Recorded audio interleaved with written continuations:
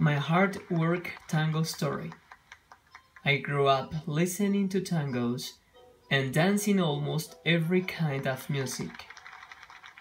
It was one of my family's like.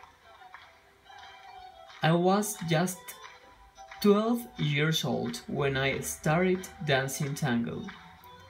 I was invited by a cousin. In the first instance, I did it only to indulge my cousin longings. Day after day, I started loving to dance tango and its music and lyrics.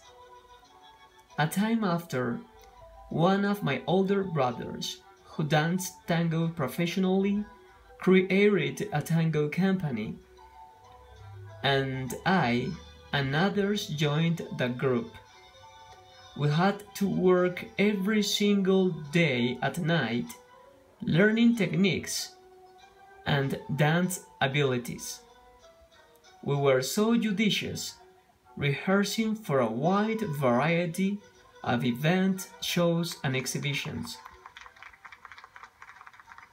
As time went by, I began competing in different competitions, local, national, and even inter international. I represented Colombia in the Worldwide Tango Championship in Buenos Aires, Argentina in 2006. I've won at least five of them and have been finalist, taking the podium many more. I've been part of the panel of judges of several competitions.